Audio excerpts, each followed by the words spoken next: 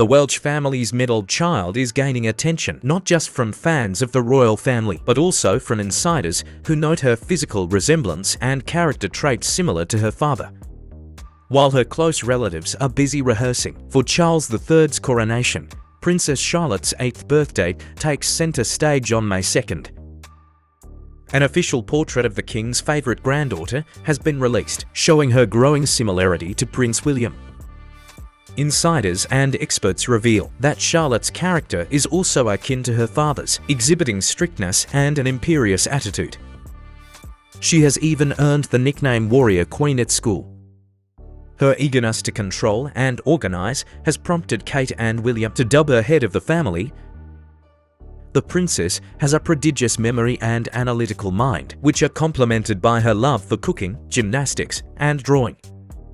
Charlotte's importance lies in her position in the line of succession, being the first woman in the royal family to be ranked higher than her brother. Her independence and initiative, as well as her adherence to tradition, have won her grandfather's approval.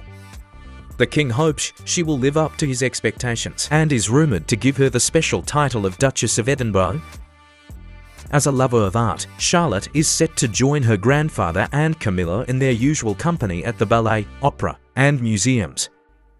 Our channel can provide you with more current news and important information.